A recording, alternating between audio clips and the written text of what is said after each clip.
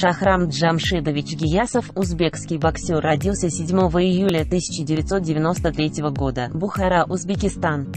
Серебряный призер Олимпиады 2016 в Рио-де-Жанейро.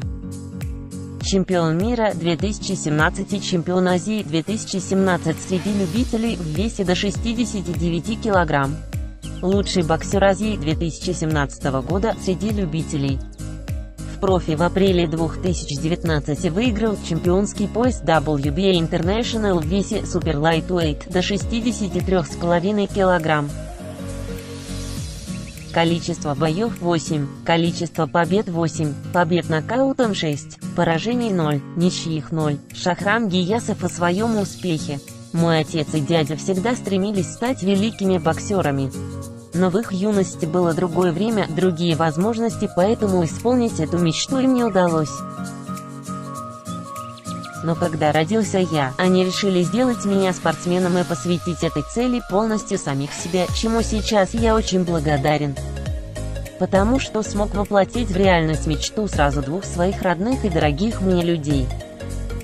Я начал заниматься в пятом классе тому времени наши земляки Мухаммад Кадыр Абдуллаев и Аббас Атоев уже заявили о себе на мировом ринге, став призерами и чемпионами Олимпиады. Я смотрел на них и, будучи маленьким мальчиком, мечтал когда-нибудь получить возможность защищать честь своей страны на Олимпиаде. Я хотел принести золото своему Узбекистану. Я хотел оправдать все надежды и исполнить свою самую заветную мечту – быть чемпионом своей страны.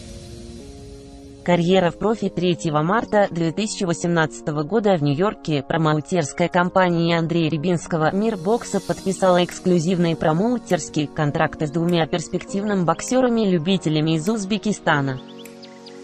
Серебряным и бронзовым призерами Олимпиады 2016 года, 24-летним Шахрамом Гиясовым и 23-летним Мураджоном Ахмадалиевым. Менеджером обоих стал Руслан Хусинов, а тренером – Джастин Гамбар. Оба боксера начали профессиональную карьеру 10 марта 2018 года досрочными нокаутами. Гиясов на сцене старого нью-йоркского театра Кингс Театр в Бруклине уже на восьмой секунде первого раунда ударом в печень нокаутировал аргентинского боксера Николаса Веласкеса 21 апреля 2018 года. Там же победил опытного венгерского Джарнимена Габара Гарбича после успешного старта в профи в мае 2018 года оба боксера были приняты президентом Национального олимпийского комитета Узбекистана Умидом Ахмаджановым и согласились выступить за страну на Олимпиаде Токио 2020.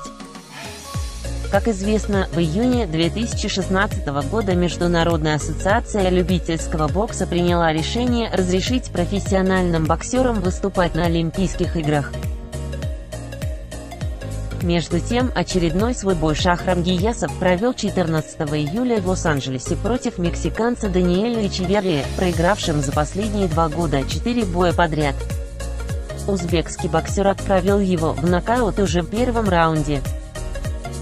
Следующий бой Гиясов провел 18 августа в Калифорнии против боксера из Ганы Альберта Менса по прозвищу Торнадо и выиграл техническим нокаутом в третьем раунде.